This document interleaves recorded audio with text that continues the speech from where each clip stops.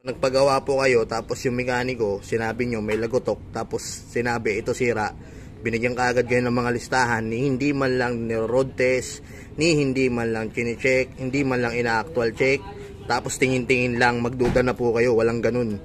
Walang ganun ang mekaniko, yung tipong amoy lang sakyan, alam na yung sira. Walang ganun.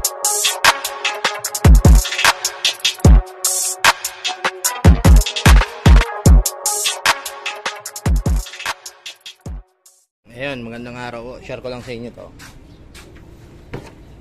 Kasi ang hatol kila sir, 33,000 kaagad. So pina-check sa amin, pina-double check sa amin. Sabi ko kay sir, kung sira naman po talaga, kailangan natin magpalit. So chinek naman namin, okay naman. Ang, bali dalawa ko yung lagotok nito eh, sa unahan tsaka sa sa likod. Yung kanina nagro-road test kami, sabi ko kay sir, sa ano po ito sir eh, sa pinto. So niro-road test ko kanina na nakabukas yung pinto, na wala yung tunog. So kumpirmado na sa pinto. Yung tapos pagtingin ko rin sa hinge, ito, puro kalawang. Nasa kabila lang po yun eh. Teka, hindi lang. Ito, ito, ito. Puro kalawang na yun. Sabi ko kay sir, papalitan ng hinge yun. Ayan. Nahanap mo na lang hinge niya para okay na yun. Kasi kumakalog na rin yun eh. Tapos yung sa likod naman, ito yung nakita namin. Ito po yung sa likod. Ito yung shock absorber niya. Ayan. Ayan nakita namin. Ito. Bagong palit daw. Nung July. Ayan. Ito yung napansin kaagad namin. Wala na yung ulo rito. Ayan. Compare dito sa kabila. Ayan. Kita niyo yan. Ay ganyan dapat yan. Oh, sa kanya wala. oh. Hindi natin alam kung putol na ba yung shock o lumubog lang o sana hindi putol. Kasi mauwi tayo sa palit ng buong shock. Ayun, baklasin muna natin. Kasi muna eh. Eh, ito na ho, natanggal na namin, oh, putol pala. Oh, tapos winelding ano. Hmm, ito, naputol siguro. Ayan. Pero parang ano eh, oh. Parang matagal ng putol, parang sinalang lang talaga. Kasi wineldingan. Ibig sabihin, itong shock na to, pa- hindi to para rito. Ginawan lang ng remedyo, wineldingan nila rito, pinutol to. Pero tinanong kung mabuti sila sir kung alam nyo ba na ganito kasi kung aware naman kayo na ganito yung binili nyo nagsabi naman sila ng totoo na remedyo pero hindi daw talaga eh nasabi daw kila sir ay brand new tapos 48,000 ayun. Kaya pala sabi ko kay sir parang sira yung shock absorber ninyo. Kasi nung niro-road test namin kanina sabi ni sir naman hindi brand new yan sir.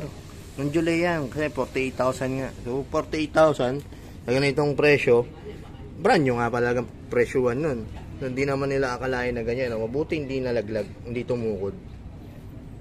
So ah dapat po talaga step by step troubleshooting. Tapos wag sentensya ng sentensya kasi kagaya niyan ang pag under chassis po ang pag-check diyan syempre road test natin tapos i-actual check pa rin natin. Hindi pa pwedeng sisintensya mo ng 33,000 kaagad yan.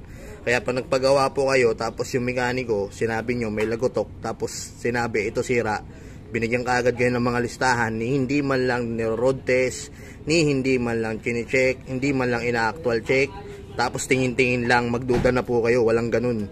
Walang ganun ang mekaniko. Yung tipong amoy lang sakyan alam na yung sira. Walang ganun. Ay tinatawag po tayong step by step troubleshooting pagdadiagnose tamang pagdadiagnose para uh, makasave din yung may-ari. At the same time uh, walang nasasayang na oras. Tsaka syempre pera yan eh. Abala din di ba? So yun. Sasuggest ko na lang dito kala sir na uh, magpalit ng original na shock o yung para rito talaga kahit replacement na parts basta para rito. Kasi ito hindi talaga to para rito. Eh, ito na na balik namin. Bali sila sir pala yung pinagpalitan na itabi nila.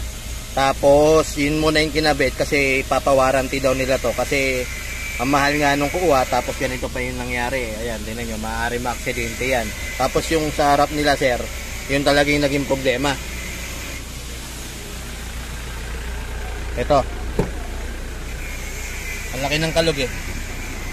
Yun. yung bisagra kung tawagin, tinan nyo, puro kalawang na. oh.